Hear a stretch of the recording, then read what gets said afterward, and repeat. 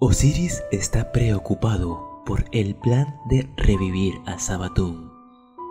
Pero hay otra persona que está tan preocupado como él, Saint 14. En esta historia vemos un lado de Osiris que acepta los planes ya que es por el bien común, derrotar al testigo. Vamos con el relato.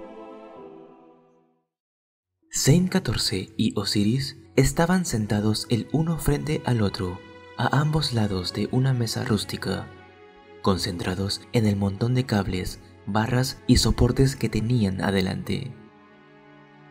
Mitrax había mencionado que su guantelete simbionte hacía que el brazo se le durmiera, y la oferta entusiasta de ayuda de Saint se había convertido en una tarde de reparaciones frustrantemente meticulosas.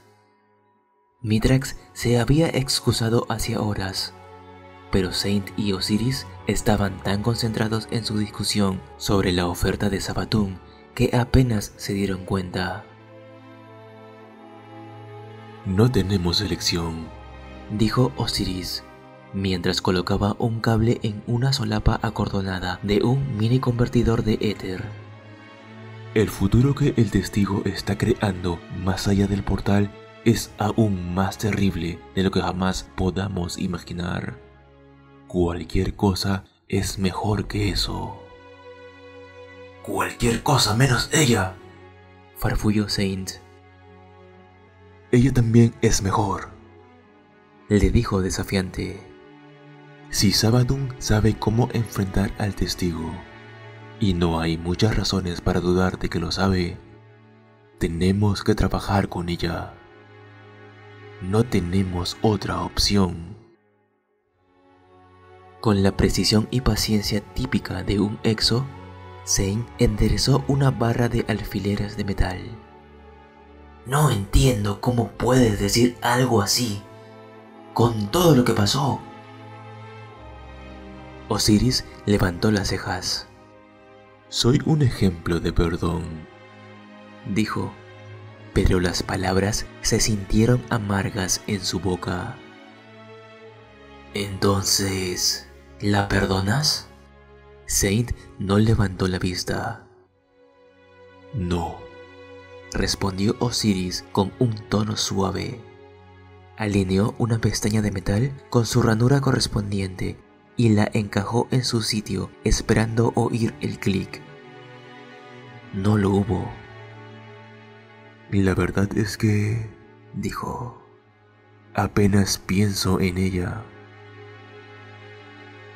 Saint lo miró inexpresivamente, pero Osiris se encogió de hombros sin ocultar la cara. Sé cómo suena. Acepté lo que ocurrió y seguí adelante, supongo. Estoy aquí con vida, junto a ti. Dicen que esa es la mejor venganza. ¿No es cierto? Saint enrolló un resorte obstinado y lo preparó para insertarlo en un soporte. ¿Acaso es venganza permitir que la culpable se libre de las consecuencias? La culpable está muerta, dijo Osiris y volverá a la vida si Eris y los guardianes completan esta profecía o predicción. El resorte saltó entre los dedos de Saint. O como sea que Sabatun llame a su nuevo truco. Osiris escuchó el resorte rebotar en una esquina cerca de la cocina y se levantó sin pronunciar palabra para buscarlo. Saint suspiró. No entiendo cómo puedes estar tan tranquilo, le dijo. A veces te comportas como si no recordaras lo que te hizo. Lo recuerdo todo, dijo con calma, sin moverse de la esquina. Recuerdo mi impotencia. Las palabras se atascaron en su garganta. Saint empujó su silla hacia atrás y se levantó.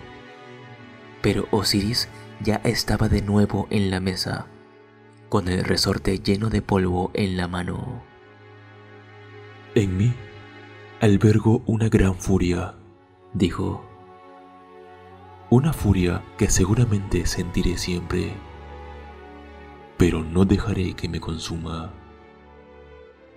La controlo, obtengo fuerza de ella. Osiris colocó el resorte en la mesa y se volvió a sentar. Saint se le acercó. Negar tus emociones no es fuerza, le dijo con cuidado. Lo admito. Si pudiera, cambiaría lo que pasó, aseguró Osiris. Pero no si eso cambiara a donde me trajo. Osiris se acercó a Saint y lo tomó de la cintura. ¿Ya terminamos esta conversación? Preguntó Osiris y Saint escuchó la crudeza de su voz. Le besó la coronilla y se volvió a sentar. Iba a tener que ser suficiente.